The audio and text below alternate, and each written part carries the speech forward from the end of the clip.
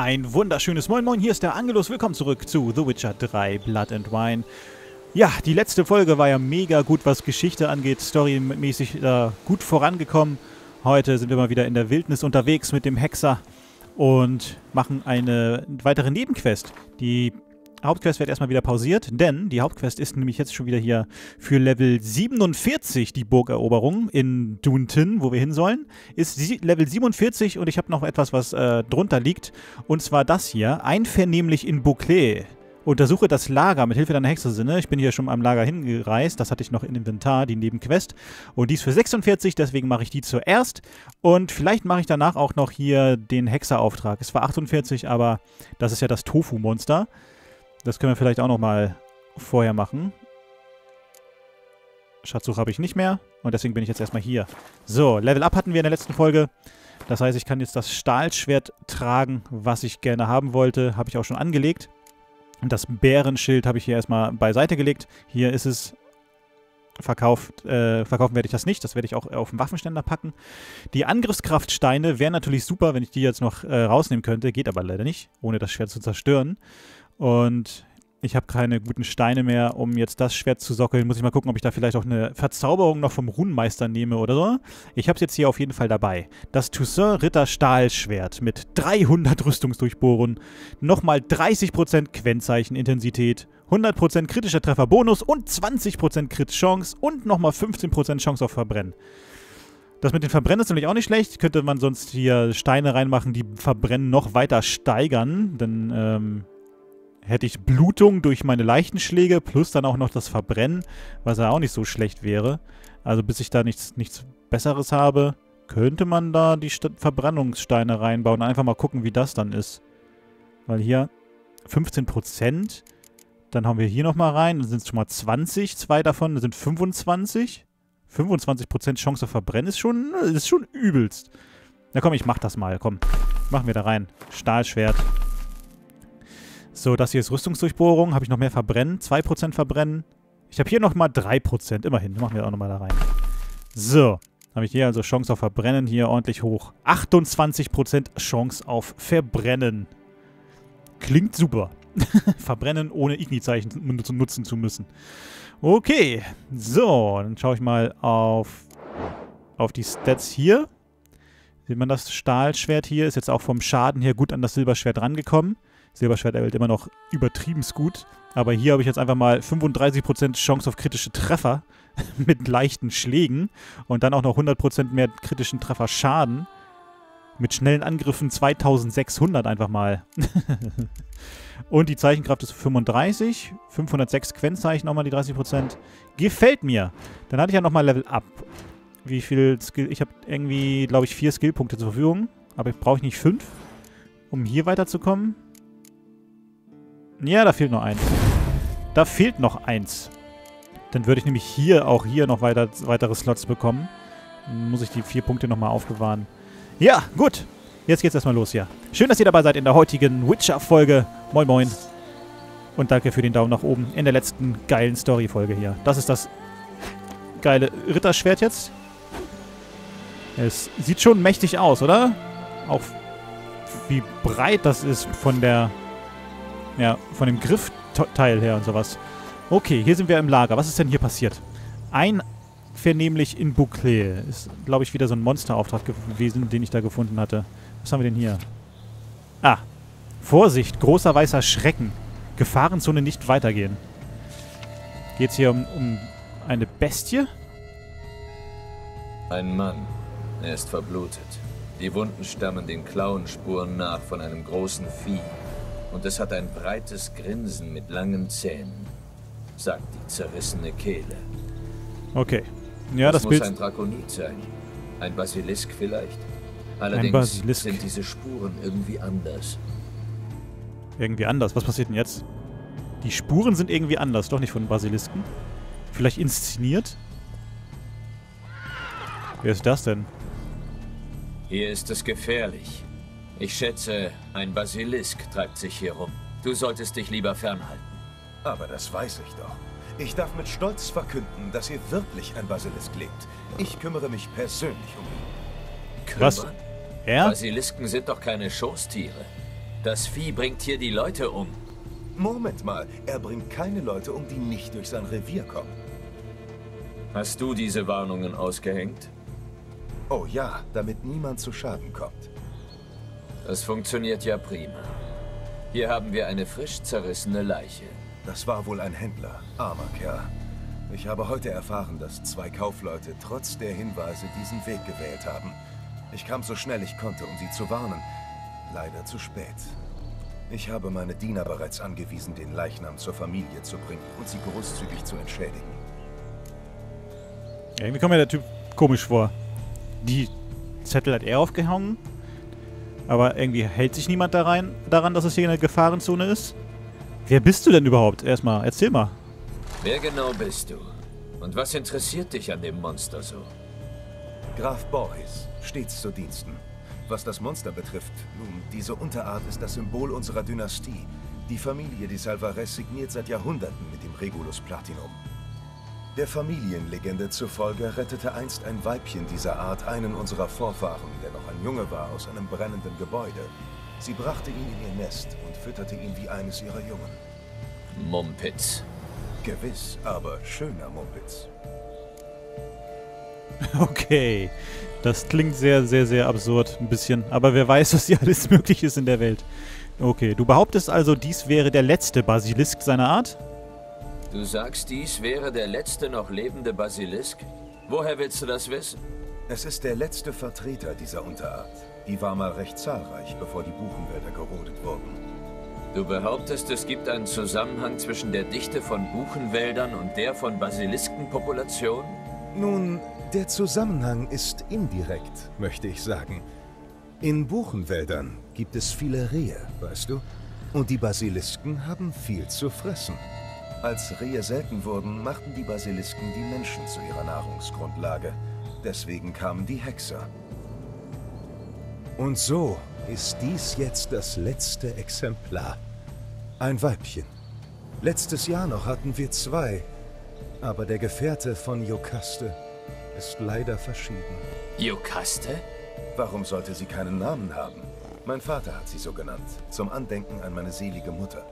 Damals hat Jokaste gebrütet, zwei Eier. Aber ach, sie hat sie aus dem Nest geworfen, als ihr Gefährte starb. Okay.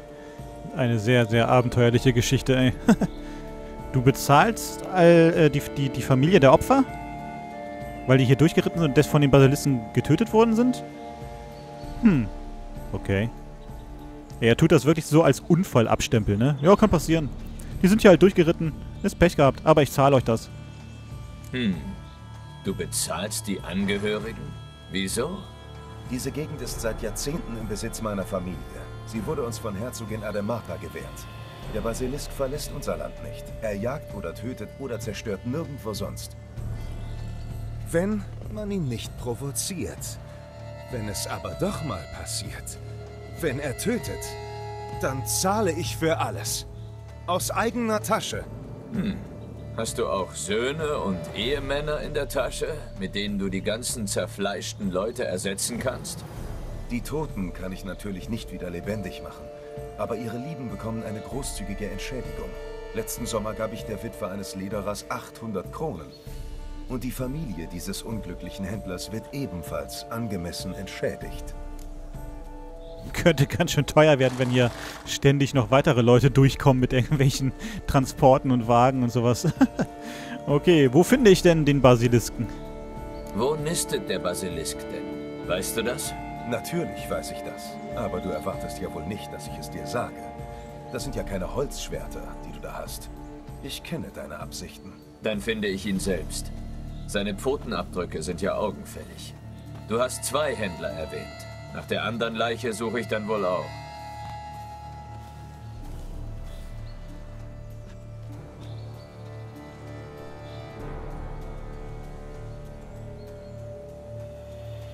Na? Dieser Gesichtsausdruck von ihm. Gut. Bring mehr über das zweite Opfer in Erfahrung. Ja. Suchen wir mal. Die muss ja bestimmt irgendwo rumliegen. Da haben wir nichts. Das letzte Exemplar seiner Art ist natürlich ätzend, ne? wenn man den, die dann ausrottet. Aber wenn hier jeder zerfleischt wird, der hier durchkommt, ist natürlich auch voll gefährlich, den leben zu lassen. Ich weiß nicht, ob wir den vielleicht besser schützen können oder woanders hinbringen können, so um, umsiedeln, wo er vielleicht ja nicht so sehr nah an Menschen dran ist. Also weg hier von diesem Anwesen. Hier haben wir noch was. Basiliskenschuppen sind eigentlich dicker, nicht so okay. fein. Dieser hier könnte feuerempfindlich sein. Du hast recht. Jokasta hat schreckliche Angst vor Feuer. Sie ist oh, eine sehr empfindliche Kreatur. Mhm. Du darfst sie nicht töten. Sonst rottest du mit ihr eine ganze Spezies aus. Ja, das habe ich ja gerade äh, angesprochen, ne? Dass wir da sonst... Seltsam, ja. diese Brandspuren. War das das Monstergift? Diese Unterart muss ja hochtoxisch sein. Oh. oh ja, Wunden von Silberbasilisken werden ganz besonders brandig. Ich muss einen Trank zum Neutralisieren zubereiten. Silberbasilisken mit viel Giftschaden? Seltsam, diese Brandspuren. War das das Monstergift? Ja. Diese Unterart muss ja hochtoxisch sein. Mhm. Ich will oben noch zur Kiste. So, die beiden Spuren waren also gleich, was das Gift anbelangt.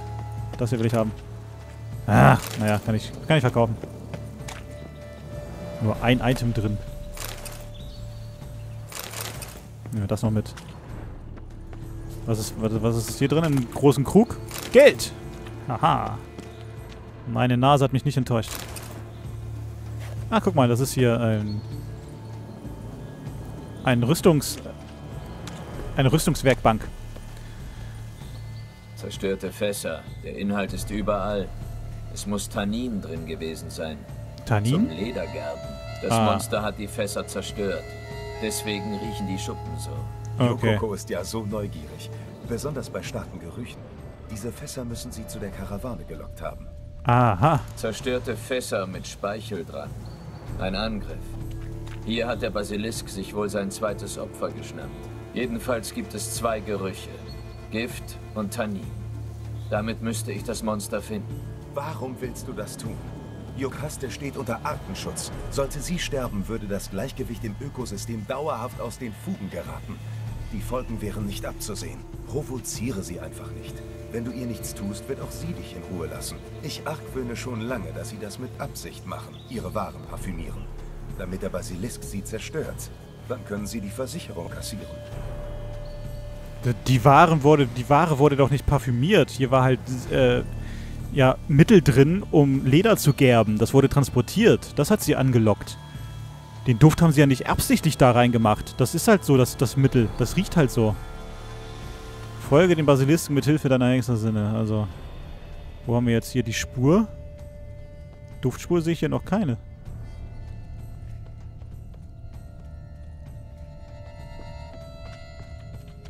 Hm. Wo geht er denn jetzt hin? Ich laufe ihm mal nach. Der kennt sich hier aber auch ganz gut aus. Warum sehe ich die Duftspur nicht? Normalerweise sieht Gerald doch... Ah, ja, da ist sie. Da ist sie. Da ist sie. Aufgetaucht. Ich verstehe auch natürlich, dass es das letzte Wesen seiner Art ist, was natürlich auch ärgerlich ist, aber dass die Menschen dann hier so Der bedroht ist werden. zu zerstreut. Der Basilisk muss sich in den Lüften befinden. Blutflecken. Eindeutig. Okay, er hat die, die, die, das zweite Opfer also mitgenommen. In den Klauen unten wahrscheinlich. Die tropft noch. Ist noch frisch. Da haben wir eine Monsterhöhle. Da haben wir den Geruch wieder. War, da war ich, war ich da noch nicht drin? Da ist noch ein Monster-Symbol angezeigt hier. Müsste ich nochmal leer machen, die Höhle. Hm. Die Spur führt aber nicht da rein. Ah, hier. Hat, äh, er wurde fallen lassen. Fallen, genau fallen wie ich gelassen. Es mir dachte. Das zweite Opfer ist relativ unversehrt. Das wollte der Basilisk wohl für später mit ins Nest nehmen. Dann hat er es fallen lassen. Möchte wissen, warum. Ja. Warum? Auftrag der äh, Böttcherzunft. Okay. Lieber Gaston, auf deine Frage zur geplanten Route für die Tannenfässer kann ich bestätigen, dass die offizielle Zunftroute nach wie vor über das Land von Graf di Sal Salvares führt. Die Zunft sieht keine Notwendigkeit, von, von dieser traditionellen Route abzuweichen, da der Graf sich verpflichtet hat, für alle Schäden aufzukommen, die der große weiße Schrecken anrichtet. Selbst der Verlust der gesamten Ladung entsteht der Zunft kein finanzieller Schaden. Die wussten also wegen, die wussten, die, äh, dass es Risiko, dass das Risiko besteht, hier angegriffen zu werden. Und haben sich das einfach in Kauf genommen, weil, weil sie gesagt haben, ey, der zahlt sowieso alles. Ja, dann haben sie ja selber Schuld an sich. Dann hat, kann man ja auch mit der Bestie nichts machen. Wenn die wissen, dass der große weiße Schrecken hier haust, ändern aber nicht die Route. Dann sind sie ziemlich dämlich. Dann sind sie wirklich ziemlich dämlich. Wenn, wenn also sicher, also wenn man also, also, also auch eine andere Route nehmen könnte, dann kann der Basilisk ja hier weiterleben. Die sollen sich nur halt mal dran halten, hier nicht mehr durchzufahren, die Idioten. Wer redet da eigentlich? Wie geht's jetzt hier gerade nicht weiter? Ich höre auf jeden Fall die Stimmen da vorne. Hier ist die Spur.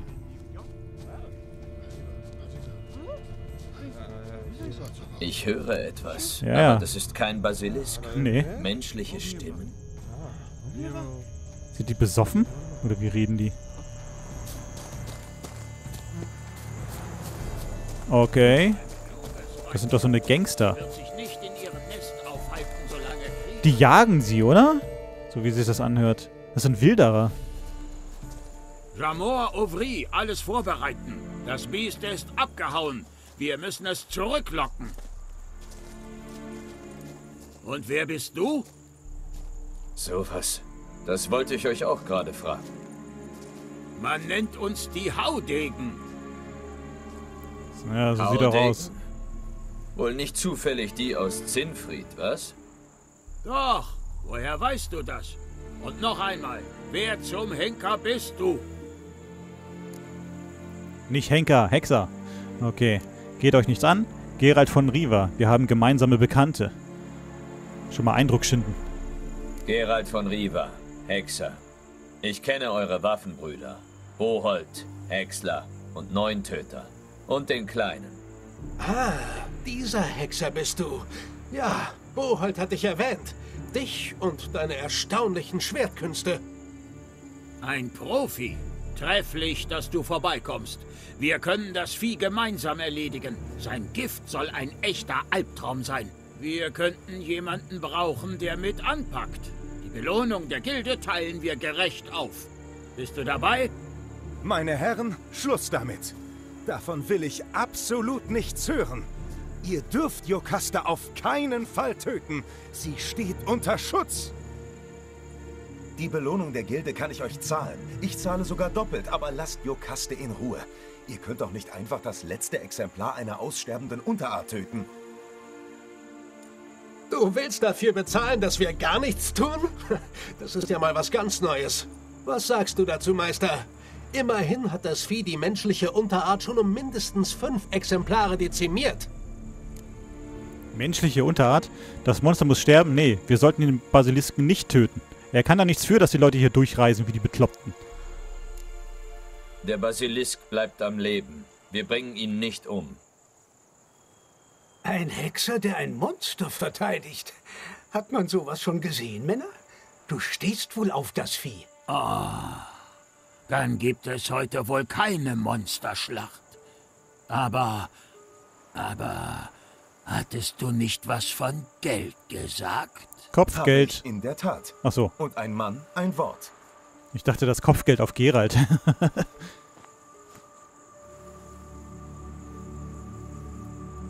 Dein Anteil, Hexer. ah, die sind aber höflich. Das war ja einfach. Alles Gute, Hexer. Seltsam, mit dir zu arbeiten. Seltsam, aber erfreulich. Macht's gut, Leute.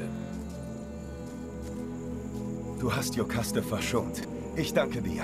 Sei versichert, dass ich aufpasse, dass sie niemanden mehr umbringt. Du musst dir mehr Mühe geben. Hier darf niemand mehr herkommen. Das werde ich tun. Meister, du musst diese symbolische Summe nehmen. Wärst du nicht gewesen, hätten diese Haudigen meine Jokaste gewiss erschlagen. Ja, die Haudegen kannte ich sogar. Also, also nicht die jetzt, sondern die angesprochen wurden. Also Neuntöter und Häcksler. Die habe ich ja in, in The Witcher 2 auf jeden Fall auch schon treffen dürfen. Gleich am Anfang auch. Okay, also ich habe das Geld bekommen. Ich brauche nicht mehr Geld. Doch, ich brauche mehr Geld. so, er könnte natürlich auch dafür sorgen, dass dieses ganze Grundstück hier sicherer wird. Entweder er stellt irgendwo noch ein paar mehr Zäune auf oder so, sodass die, die Händler hier nicht immer durchreisen, irgendwelche Posten, oder er macht es total öffentlich und stellt Schilder auf, ey, wenn ihr jetzt hier durchreitet, dann zahle ich euch nicht mehr eure Schäden. Dann seid ihr selbst schuld. Ja, ich habe hier die Warnungen aufgestellt. Der Basilisk gehört uns. Das ist ja quasi, sollte man den unter, unter, unter ähm, Naturschutz stellen, wenn er der Letzte seiner Art ist und hier frei in so einem kleinen, kleineren Bereich leben kann, dann stört er ja niemanden. Ne?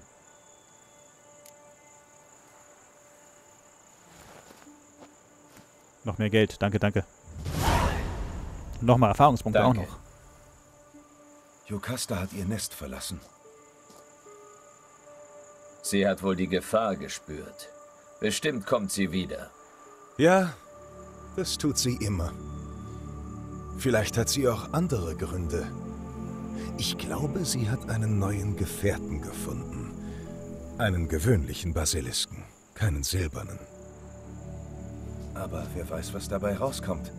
Vielleicht brütet Jocasta bald wieder. Ob dann eine neue Unterart entsteht? Das will ich doch nicht hoffen. Alles Gute. Das will ich auch nicht hoffen, dass da irgendwas Heftiges, Heftiges bei rauskommt.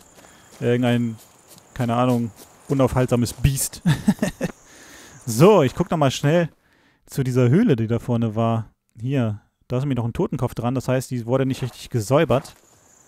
Könnte man vielleicht noch mal das ein oder andere Monster umhauen. Oder es ist vielleicht, vielleicht auch etwas da drin, wo ich mein Silberschwert mal ausprobieren könnte. Hier gehen wir noch die Leiche, müsste man jemand aufräumen. So, interessante Quest. Es kam nicht zum Kampf, aber so ist, glaube ich, besser. Gehen wir mal hier rein. Was haben wir denn hier für eine Höhle? Irgendwo muss hier etwas sein, was ich noch nicht geplündert habe. Schön hier. Kann man hier noch vielleicht irgendwo anders hinschwimmen? Ich glaube, ich war hier schon mal drin. Aber sie wurde noch nicht gereinigt. Da ist Blut an der Wand. Hier haben wir Blutflecken. Oh, guck mal, da oben ist auch was, etwas. Jetzt bin ich natürlich hier unten und müsste da hoch. Da ist was Rotes zum Untersuchen. Das ist, das, das ist eine, ein Körper. Von hier aus geht's nicht, ne? Ne, ich muss darauf. Kann ich, hier kann ich noch, kann ich noch klettern. Hier, jawohl. Ah, okay. Ein Liebesbrief, unterzeichnet von Bella de Gunnes. Oh, da war ordentlich was dabei. Cool. Das kannst du behalten. Mein liebster Freund, Gustav, ich möchte dir für unsere letzte, letztes ähm, Stell dich ein tausendmal danken. Beim Gedanken an das nächste schwimmt mir vor Glück der Kopf. Ist es seltsam, dass sich zwei Fremde so schnell so nahe kommen können? Nur wo die Liebe hinfällt, ne? Ewig dein Bella. Dein Bella, de Gunnis. Naja, also Gustav und Bella. Ich glaube, jetzt müsste das Zeichen weg sein, oder? Ja, die ganze Hülle, der Eingang ist sogar verschwunden. okay. Dann war da nichts mehr. Können wir hier wieder rausgehen. Den hatte ich noch nicht gelootet. Deswegen war dieses Zeichen noch da. Nebelgruben bin ich hier. Okay, dann können wir in der nächsten Folge dann schon wieder die nächste Quest angehen. Hier ist jetzt alles erstmal safe in dem Bereich. Fragezeichen sind ja sowieso nicht mehr da. Hauptgeschichte ist da unten am Hafen. Aber ich glaube, ich werde das Tofu-Monster noch in, äh, in Anschlag nehmen. So, die Burgeroberung, Hauptquest. Nebenquest ist jetzt hier nur noch erstmal das Gewinnspiel. Das ähm, habe ich ja eh nichts vorzumachen. Hier, Auftrag, das Monster von Tufo. Nicht Tofu. Tofu klingt aber lustiger. Das war ja auch, na, nicht ganz hier in der Nähe. Da unten, wo ich ja schon mal hingeritten bin und dann wieder abgehauen bin. Da werde ich mal hingehen Und dann geht es in der nächsten Folge weiter mit der Monsterjagd vom Tofu-Monster. Ich hoffe, euch hat es heute trotzdem ein wenig gefallen. Diese Quest hier mit dem Basilisken kam nicht zum Kampf, aber man muss ja nicht immer alles töten. Gerade auch nicht, wenn man damit eine ganze Spezies ausrottet. Ne? Muss man ja auch nicht so verantwortlich sein, wenn man das auch anders lösen kann. Wenn man einfach den ganzen Bereich hier sicherer macht und dafür sorgt, dass die dummen Händler hier nicht wieder durchfahren. Ne? So, also, ich bedanke mich fürs Einschalten, danke für den Daumen nach oben und dann bis zur nächsten Folge von Blood and Wine. Macht's gut, ciao!